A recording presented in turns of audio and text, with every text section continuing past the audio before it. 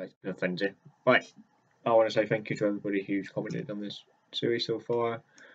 Without your comments, I would would not be, pardon would not be enjoying this series as much as I actually am. I want to do a massive thank out to Hoopus Cats. I'm sorry if I'm saying your name wrong. I do apologise on that. Um, so yeah, I want to say thank you to you because you've basically shouted me out in a, a uh, couple of your videos recently, and I am going to take up your idea what you said about the ferro rod in the last comment you've left me about by taking it out of the water for a week and then seeing what would happen. Okay, right, I'm going to begin now, guys. But before I begin, I've got a piece of tissue here. There is some dirt on it. I'm not going to lie to you. I'm going to fold it in half because this is that's something else. Right, I'm going to take out the woolen out. Before I do that, though, there's the striker.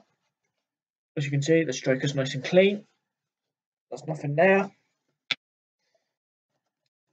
Get out the. Let's bring it out. I'm hoping all of you lot had a really good Christmas because I have. I've really enjoyed myself.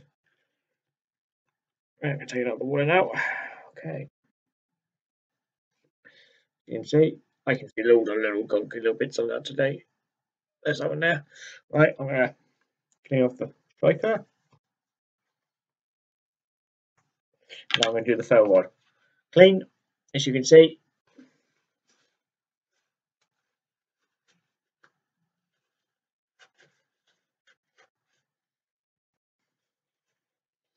It's not as bad as I thought it would be, but it's still quite bad. So yeah, I am going to be like that. Right, I'm going to strike it now for you guys quickly. This don't want to make it too long. There you go. That's just by cleaning it with that. It is breaking down. I can feel it. Right, I'm going to throw that back in there.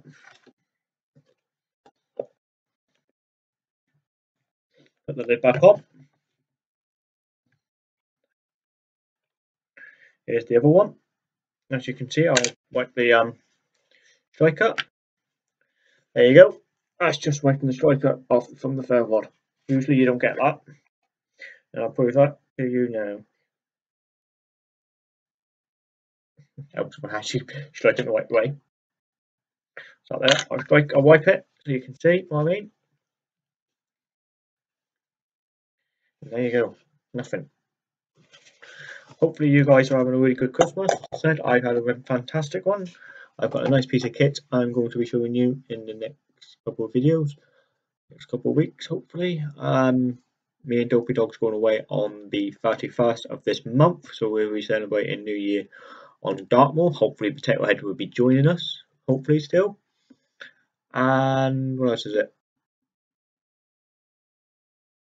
There's an upcoming video of my, as I said, my fishing, my 2019 fishing kit, as well as my boot. That's how I clean my boots. So tell me what you think on this video, guys. Tell me what you want, what you think of um. Oh, what do you call it? Of this series, and we'll catch you in the next one. As I said, thank you for watching. Bye bye.